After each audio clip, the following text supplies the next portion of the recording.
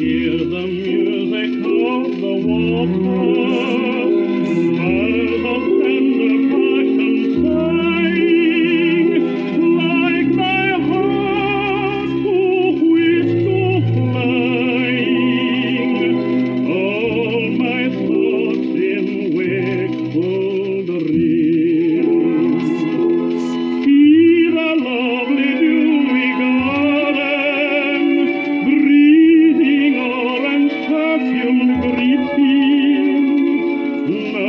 and set my heart at ease.